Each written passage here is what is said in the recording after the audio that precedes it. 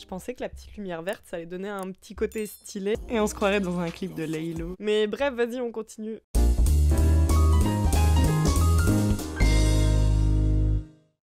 Dans une de mes vidéos précédentes, je parlais entre autres de Crocs.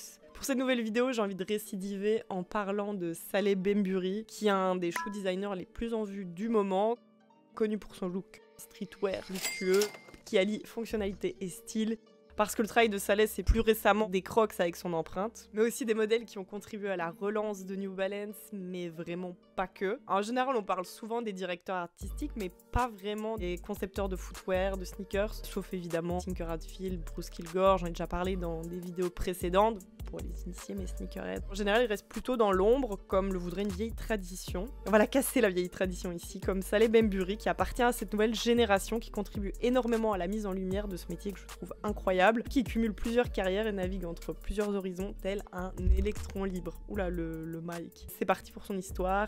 Let's go Saleh, il est né en 1986 à Tribeca, qui est un quartier de l'arrondissement de Manhattan, à New York une ville qui est connue pour sa créativité. Très jeune, il a été exposé à l'art grâce à la carrière de photographe de son père. Le basketball et la mode deviendront ses premières passions, comme pour beaucoup de New-Yorkais. Beaucoup de joueurs de NBA avaient un style si particulier qu'ils avaient envie de les imiter. Là, c'est impossible de ne pas penser au drip de Dennis Rodman, mais voilà, on est encore dans les extrêmes, donc on va se calmer. J'arrête de m'égarer.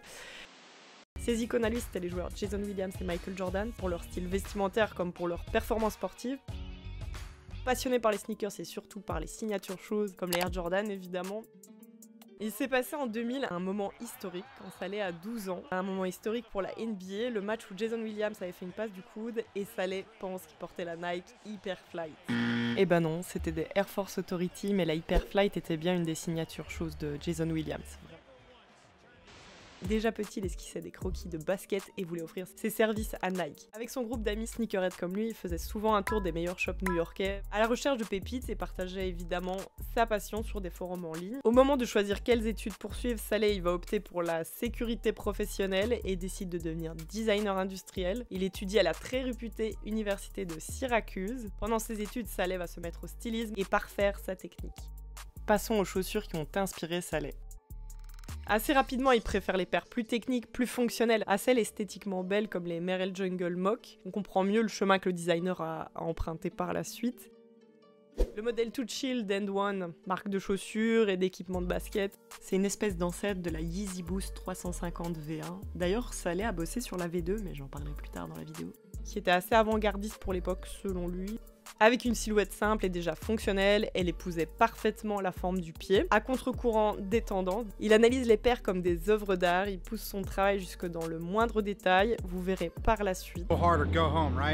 On enchaîne avec sa carrière faite d'opportunités saisies et d'expériences réussies. Après l'obtention de son diplôme, il débute sa carrière chez Payless, qui est une enseigne internationale de chaussures à prix réduit comme Shoe Discount ou Chaussea. En tant que shoe designer, il devait imaginer des modèles pour le magasin, mais avec des contraintes qui ont été imposées par celui-ci. Il va rester chez Payless pendant un an. Selon lui, à l'époque, travailler là, bah, ça représentait rien d'exceptionnel, mais avec le recul, il est reconnaissant parce que Payless est un magasin qui conçoit tout type de chaussures, donc d'un point de vue éducatif, c'était un bon endroit pour débuter une excellente première expérience professionnelle qui s'est avérée bah, très positive. En 2011, il rejoint Cole Haan, qui est une marque détenue par Nike. Leur modèle lise aussi entre Richelieu, basket et chaussures de golf. Il rejoint l'équipe d'innovation qui imagine à la Cole Haan Lunar Grand, qui retravaille la technologie de semelle intermédiaire, composée d'une mousse ultra légère la technologie Lunarlon, comme on l'appelle. Une chaussure acclamée pour sa combinaison de style et de fonctionnalité. On parle d'une juxtaposition de l'artisanat, de la technologie et de la résolution de problèmes qui ont fait de Saleh un designer encore plus polyvalent. C'est durant cette période chez Colan qu'il rencontre Kanye West via son mentor et supérieur Jeffrey Anderson, qui va l'encourager à montrer son portfolio à Kanye. Cette rencontre, elle va être déterminante pour Saleh par la suite. Il restera trois ans chez Cole Haan. Sa notoriété grandissante l'a ensuite mené en 2014 à l'entreprise Great de John Buscemi, qui est créateur de mode, directeur du design des chaussures, et aussi accessoirement le cousin de l'acteur Steve Buscemi, que vous connaissez sûrement. Saleh, il était le footwear designer, la force créative derrière les silhouettes, les collaborations et le positionnement de ce label de mode. Fin 2015, Kanye West va l'engager chez Yeezy pour s'occuper des chaussures pour hommes, plus précisément travailler sur les collections footwear de la saison 3 et de la saison 4, les modèles Yeezy Boost 350 V2 et 750. Il a aussi travaillé sur la Yeezy Combat Boots. Ces sneakers, elles sont considérées comme les plus belles créations de Saleh Bembury. Chez Yeezy, il va pas rester longtemps parce qu'un an plus tard, il quitte la boîte pour voguer vers de nouveaux horizons. Cette expérience, elle aurait été un réel tremplin pour lui, évidemment. C'est plus ou moins à cette époque-là qu'il se découvre une passion pour la randonnée, qui est une activité récurrente qui fait entièrement partie de l'univers artistique de Saleh. Le chapitre Versace. Is Versace Versace. Au culot, il va proposer ses services au directeur du design chez Versace via LinkedIn. Comme quoi, les gars, faut vraiment pas négliger ce réseau social. En 2017, il est engagé par Donatella Versace en tant que designer en chef des sneakers pour Versus Versace. Donc c'est une branche plus streetwear de la maison de luxe. Il passera vice-président du design footwear de la maison mère très rapidement puisqu'il endossera ce rôle un an plus tard. Il a travaillé sur plusieurs modèles, euh, sur plusieurs sneakers fortes, iconiques, dont la Versace Apple qui a inspiré de la paire portée par les employés Steve Jobs dans les années 90, la Trigreca qui revisite l'histoire du label, ou bien encore la Chain Reaction. Et c'est cette dernière qui va propulser Saleh au sommet. Il dit même que la Versace Chain Reaction a changé sa vie. Il voulait créer une chaussure accrocheuse mais qui respectait la ligne créative de la maison italienne. Une fois de plus, ses compétences en design industriel l'aideront à résoudre les problèmes de conception que le modèle rencontrait à l'époque. C'est quand il entrevoit une chaîne cubaine dans les archives de Versace qu'il remarque bah, sa platitude et donc la possibilité d'en faire une semelle. Son but était d'en faire une chaussure très légère malgré sa taille considérable et évidemment le poids de la chaîne. Après un long travail de, réflexion, c'est un pari réussi puisque la Chain Reaction voit le jour et sera un réel succès. Elle appartient à la sainte trinité des chunky shoes avec les, les S de Balenciaga, la Riton de Gucci, les dad shoes en plein essor à cette période-là. Ce modèle, il a explosé et il a atteint un public international. Donatella Versace, elle va même plus loin en qualifiant même Saleh Bembury de meilleur designer de sneakers au monde. Fan number one ici. Par contre, en 2020, il lui arrivait une mésaventure. Enfin, une mésaventure. Il a plutôt été victime de racisme, tout simplement. Alors qu'il sortait d'une boutique Versace à Beverly Hills, il avait une boîte de chaussures à la main. Il se fait interpeller par des policiers.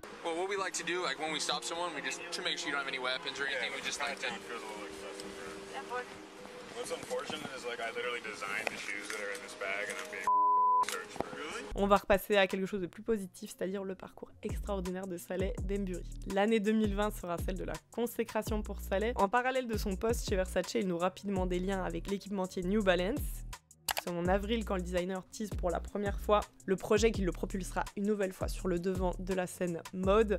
La New Balance 2002 Air Running, revisitée à sa manière. C'est une tâche qui lui a été confiée par la marque américaine, séduite par le travail du lauréat du prix du design de l'année 2020 au Footwear News Achievement Awards. On va pas se mentir, avant c'était pas ouf de porter des New Balance. Qu'est-ce Et vos pieds, qu'est-ce qu'ils ont? Qu'est-ce que vous voulez dire? C'est mes 407 Oh, des 407, je vois. Montrez-moi. Ok. Ils soutiennent très bien le pied. Ouais. Oh, ça va pas Vous êtes dans une fraternité Vous êtes cinglé Vous êtes dans une fraternité Vous auriez pu atteindre quelqu'un. Qu'est-ce qui vous prend Je vous pose une question. Vous êtes dans une fraternité Non Vous êtes Steve Jobs Quoi Attendez une seconde. Vous êtes le milliardaire qui détient Apple Computers Non. Oh, ok. Alors dans ce cas, vous n'avez aucun droit de porter des tennis New Balance de toute votre vie. Venez. Mais bon, avec l'aide des designers comme Saleh Benbury et Teddy Santis, propriétaire du label Aimé Léon d'Or et directeur créatif de la ligne Made in USA de New Balance depuis 2021, après de multiples collabs entre cette dernière et ALD, la marque bostonienne signe son grand retour, à un point tel que l'empire de Nike s'est senti menacé et qu'une partie de la communauté des sneakerheads a été agacée par ce qu'ils jugeaient être la démocratisation de leur culture. Mais c'est là justement où des visages comme Saleh, des passionnés eux aussi, rassurent et assurent. On parle des New Balance de Saleh Bembury, je peux pas m'empêcher de penser au starter pack cliché de ouf de thème à la paire. Avec Saleh, on est souvent sur des coloris très colorés, très peps, qui sont à l'image ben, de sa personnalité, comme si je le connaissais personnellement, tu sais. Pour la brève description de la paire, qui est sortie en octobre 2020, elle rend hommage à la nature qu'il affectionne particulièrement. On parlait justement de sa passion pour la randonnée plus tôt. Elle fait référence aussi à l'Antelope Canyon, qui est le canyon le plus photographié au monde, situé autour de Los Angeles, où il habite depuis quelques années maintenant. Son design, il est riche en relief, il varie entre mèche, suède et suède plus velue, avec des détails de couleurs et une spécial box évidemment qui, accompagne, qui agrémente le tout. On est sur un concept appuyé par une campagne publicitaire assez créative. New Balance et Sally Benbury vont engager Jesse Williams, qui est un des acteurs de la série Grey's Anatomy dans les premières saisons.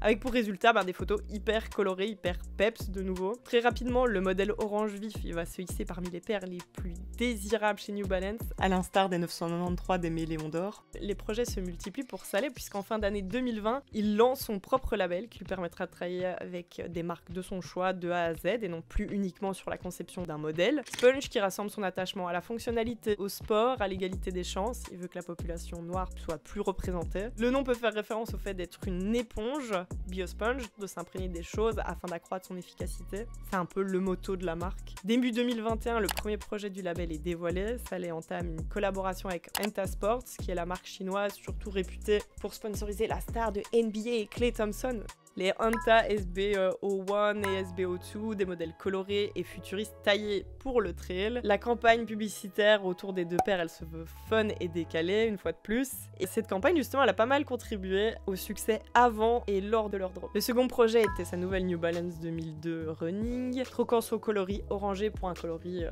bleu, nommé Water Be the Guide, inspiré des chutes d'Avazu, Vazu, je sais pas si ça se dit comme ça, dans le Grand Canyon aux USA. Sa relation avec la marque américaine, elle ne cesse de se renforcer, son travail matchant parfaitement avec l'esprit fonctionnel et confortable de New Balance. Fin 2020, dans un post sur Instagram, il va annoncer son départ de Versace et remercie Donatella pour l'opportunité et la confiance qui lui ont permis d'être visible aux yeux de tous, d'être révélé. C'est une aventure qui se terminera après plus de 3 ans de bons et loyaux services. 2021, décidément ça n'arrête pas. Sa collection New Balance 574 baptisée Yurt, la plus large collection jamais sortie, comprenant 5 silhouettes, ainsi qu'une large gamme textile et accessoires sur lesquels tous les amateurs de camping stylé ou bien fans de gorpcore pouvaient cop. Mais c'est quoi le gorpcore? Il s'agit de la convergence du style d'un randonneur et de celui d'un amateur de mode porté par des urbains pour la vie de tous les jours. Le préfixe gorp n'est autre que l'acronyme de Good Oats Resins Peanuts, la collation énergisante des randonneurs. J'ai créé un filtre Instagram il y a pas longtemps qui te dit quelle marque de Gorpcore tu es. Si tu veux tester et que t'as que ça à faire, ben, le lien est en description.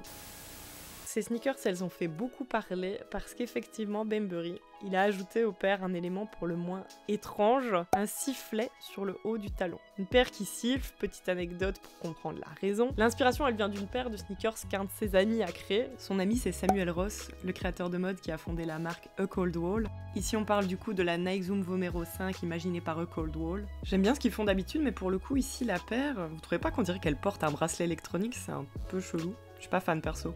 J'ai le bracelet en ce moment et rien que je le fais sonner. Bref, on lui posait souvent la question à quoi sert la partie arrière? Et était amené à dire que ça servait à rien et les gens semblaient déçus. Donc il s'est dit qu'il y avait quelque chose à exploiter, d'où l'idée du sifflet. Il voulait quelque chose d'innovant mais pas trop, histoire que la paire elle coûte pas 1000 dollars, donc euh, il a skip l'idée de la technologie poussée et il a transformé la partie en plastique en sifflet. Et il va même plus loin, il dit même qu'il avait cette idée déjà en tête lors de sa première réunion avec New Balance. Le contexte, l'idée c'est d'être en train de faire de la randonnée, la nuit commence à tomber, tu dois retrouver, appeler tes potes, c'est la galère. Et c'est là qu'intervient le sifflet, c'est innovant, aucune paire de chaussures n'a jamais comporté un élément pareil. New Balance avoue avoir une confiance aveugle en la vision de Saleh Bembury. De nouveau, une vidéo de lancement est diffusée, visionnée par des centaines de milliers de personnes sur la toile. On le voit dedans au sommet d'une montagne, soufflant dans sa chaussure. La séquence, évidemment, elle a buzzé. Buzzé. Il dit que l'humour, c'est un excellent moyen d'attirer l'attention des gens, de les amener à comprendre son univers et même se moquer de vous. Toujours en 2021, il annonçait sur son Instagram faire gagner gratuitement 50 exemplaires de sa New Balance